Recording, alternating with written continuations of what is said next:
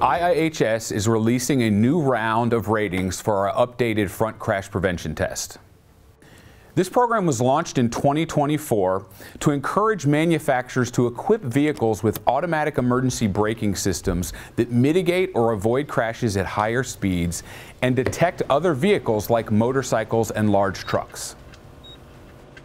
This program was designed to address the most common front to rear crashes that occur with passenger cars and the more serious crashes involving a tractor trailer and motorcycle that often result in fatalities.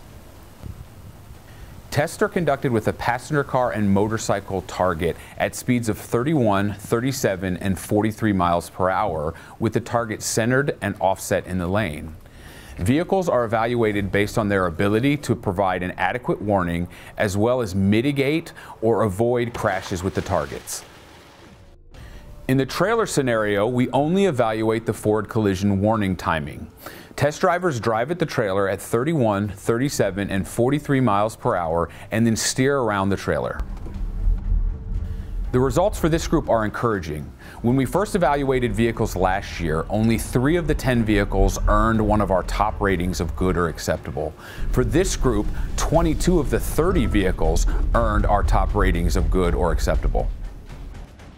For the vehicles that earned a good rating, they were all able to provide adequate warnings in most of the test trials with the three targets.